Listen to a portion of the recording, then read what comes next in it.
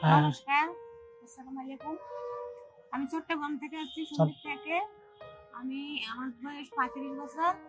আমি অনেক দিন অসুখে কষ্ট করেছি রোগে। আমার ওয়াইফ অনেকদিন পর্যন্ত অসুস্থ ছিল আজকে প্রায় আট দশ বছর পর্যন্ত। অসুখটা ছিল ওনার পুরো সমস্ত ঘিরে ঘিরে ব্যথা হাতে পায়ে সব জায়গায়। ওনাকে নিয়ে অনেক ডাক্তার দেখাইছি কিন্তু কখনো কোথাও মানে ভালো হয়নি। পরিস্থিতিগুলো অনেক খারাপ ছিল। মানে। হাঁটাচলা করতে পারতো না, সব জায়গায় ফুলে যেত, একদিন ওষুধ না খাইলে অনেক পরিস্থিতি অনেক খারাপ হতো। মানে সব জায়গায় ফুলে যেত, আঙ্গুল টাঙ্গুল এগুলো সব ফুলে যেত। তারপরে এই যে স্যারের ভিডিও গুলো দেখি, এখানে মানে স্যারের কাছে আসলাম, এখন স্যারের থেকে প্রায় দশ বারো দিন চিকিৎসা নেওয়ার পরে দিই, এখন মোটামুটি আমি সুস্থ এখন মোটামুটি।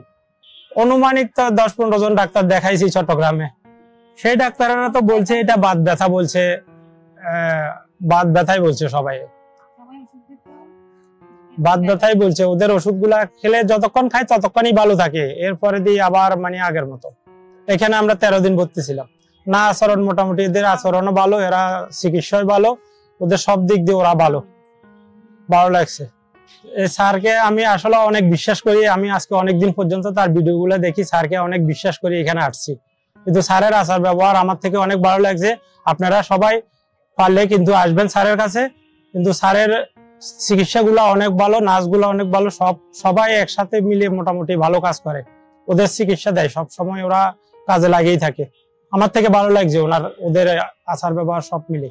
আমার স্ত্রীর জন্য সবাই একটু দোয়া করবেন, সবাই সুস্থ থাকবেন, ভালো থাকবেন, নমস্কার, আদাব।